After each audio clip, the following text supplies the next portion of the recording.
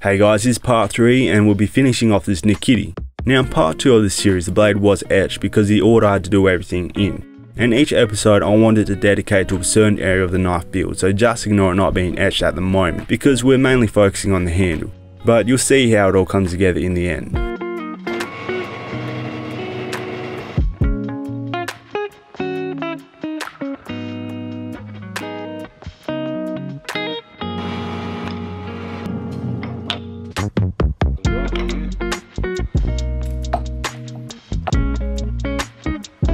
I'm starting off with a block of mammoth ivory and it's a pretty funky shape. I can't make it into a square block because I'll be taking too much material off. So I ended up using my icometers and guess where most of the material is, making it incredibly accurate, to the centimeter. Say for Americans that's within 3 eighths of an inch, so it's pretty damn close. Then I marked a reference line and got it ready for drilling.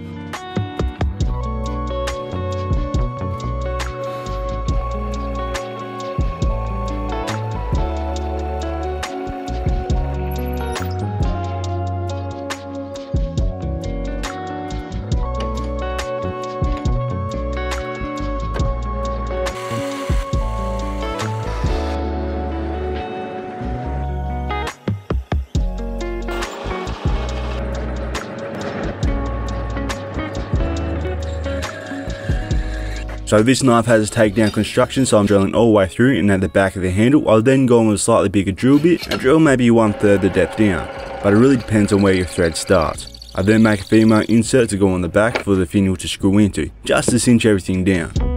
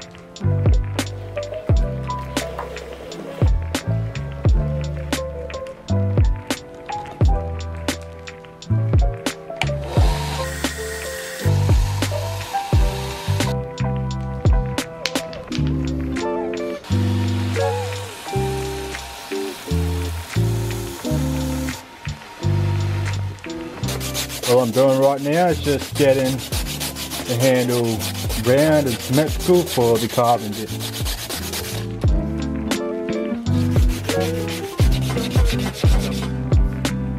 I'm going to be doing some carving on the handle which I've only done one other time in my life. And I'll be using a jig usually made for marking out fluted handles. But I'm not making a fluted handle.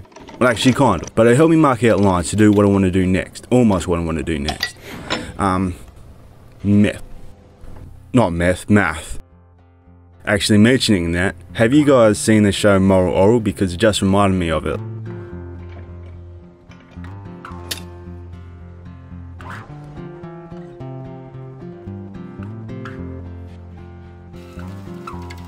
With this jig allows you to make a grid in your handle which you can draw a line connecting the diagonals.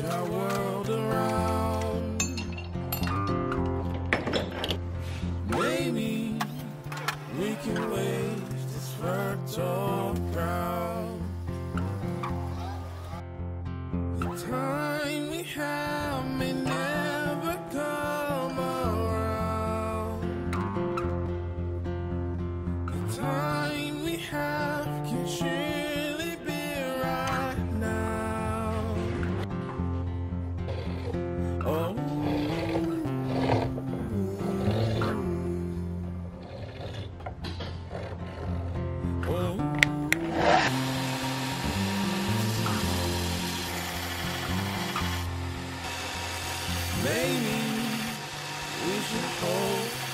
Okay, so now I've got this bolster actually tapered. Just tape it in line with the handle, just for aesthetics, because it looks better, rather than having that tapered, get to the bolster and have that square, or just um, parallel, because that looks a little bit clunky, or not clunky, but it looks kinky. So now I just need to acetone this, get this ready for the etch, because now the blade's practically done. I can coffee etch this and that may take a few times to get right, but while that coffee etches, I can work on the handle and then just focus on that.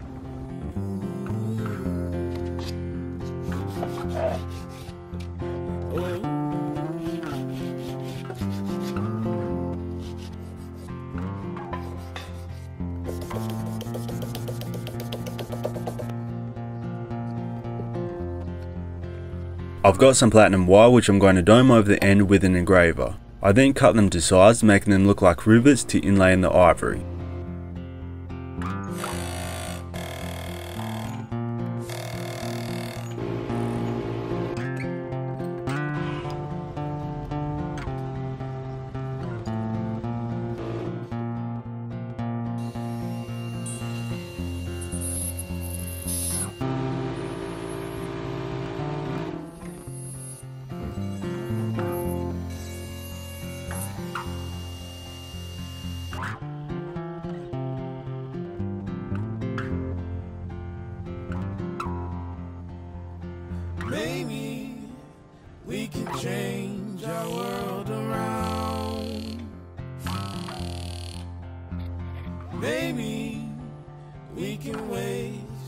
Fertile ground.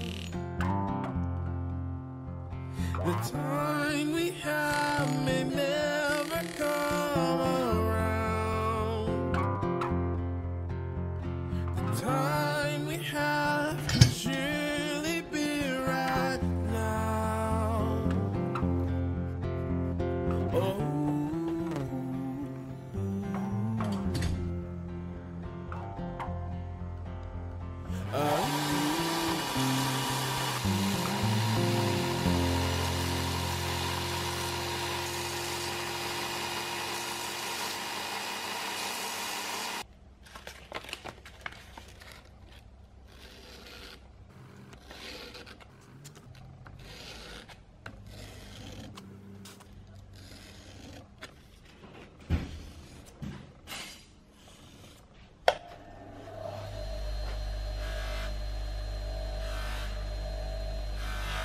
I'm creating an heirloom fit on the handle which means you make your handle larger than the bolster and then round the edge over to meet that bolster, or space it in my case.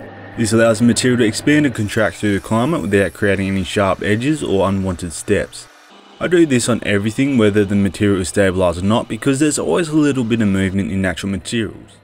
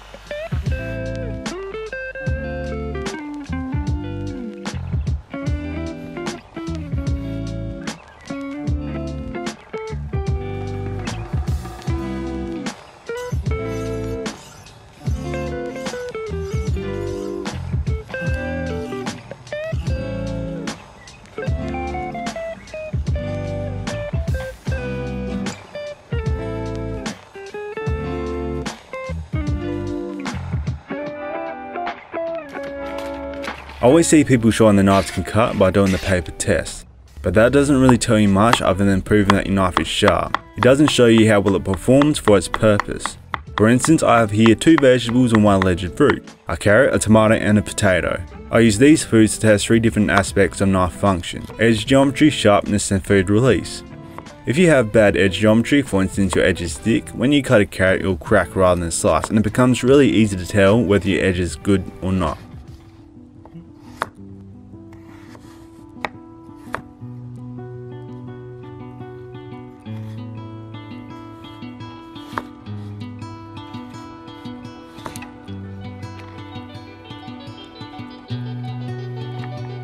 Sharpness. The tomato skin can prove to be hard to cut with a blunt knife and tends to crush onto itself.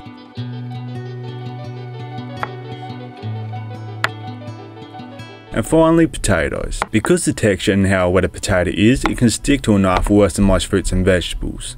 Having a knife with a lot of surface area that is flat can make it worse, but if you have, say, a Damascus pattern with a convex or concave uh, surface, that would help into getting better food release.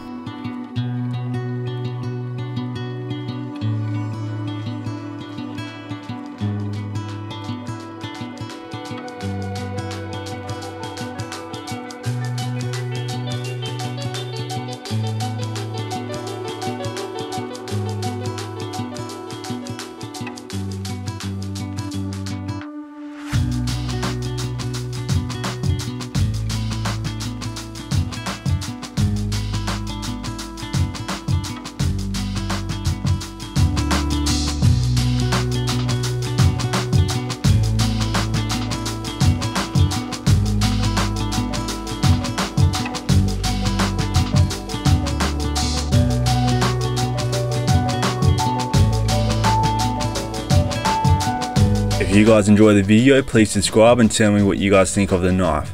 There was a lot of firsts for me and there's still a lot I can improve on, but overall I'm pretty happy with how it came out. For my next video I will do a Brute to Forge cookery, so stay tuned because that will come up sometime in the future. Anyways, have a great day guys and thank you for watching.